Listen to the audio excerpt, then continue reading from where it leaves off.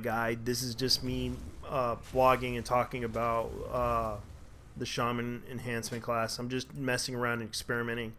Now, I'm actually experimenting with forceful. Um, I tried out lashing flames and hot hands. They seem to be a good combination, especially with um, your class. If you imbue yourself with um, with uh, uh, with uh, Flametongue and also um, Windfury you could probably get a good amount of procs with it. And I noticed that when I was uh, messing around a little bit and good doing a, a, good amount of damage, especially when I wanted to try uh, forceful winds. And I tried it out. It didn't seem to successfully do a lot of uh, procs, especially when you imbue it with Windfury. And the thing about it is that Hot Hands and Lava Lashing seems to do more better than what you would expect, especially uh, Lava Lash in- involves uh, Flame Shock, which also, the fact you may notice that I was using um, also in the rotation uh, Lightning Bolt, which helps in single target situations. Chain Lightning mostly does AoE damage, but it does seem to help in certain situations. Now, the reason why I chose um, uh, Crashing Storms seems to help too. I know that most people like Stormkeeper. It does seem to be uh, a really good idea, but at the same time, you, you gotta understand um, it's mostly focused around um, Chain Lightning and Lightning Bolt. It gives you mostly an instant cast uh, for for those two to allow you to do more damage.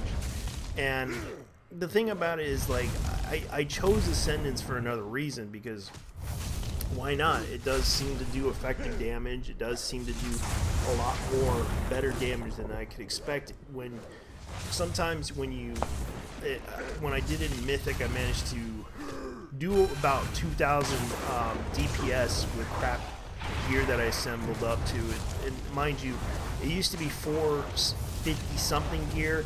Now it's like 110 or 108, I think, or 112 gear. And I was doing 2,000k DPS, but in the end, it didn't really. It resulted into lower DPS. I was kind of surprised by it, especially with the DPS I was doing.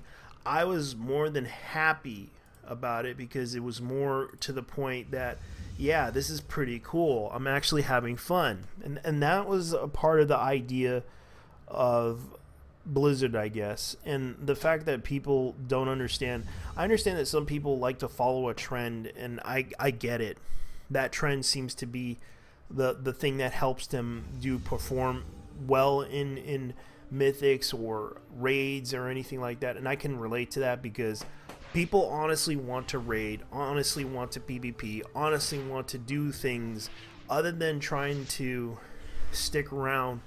And I know that most people like to farm as well, performance wise, because they want to uh, earn as much gold as possible or do something like earn rep to earn something.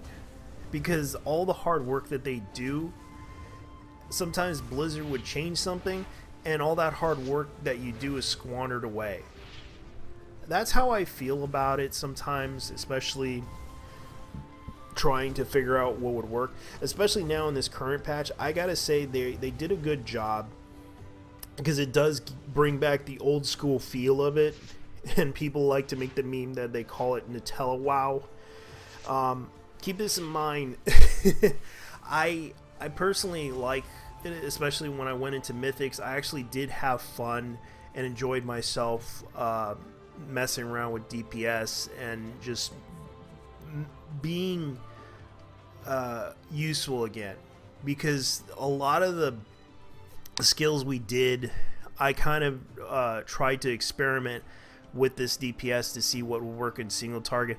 And it turns out what I discovered was it actually does seem to help me a little bit trying to test out what what specs to work with and, and I noticed that a lot of people have been doing the training dummies as well and I kind of decided to do that myself too because I wanted to improve, I wanted to do better.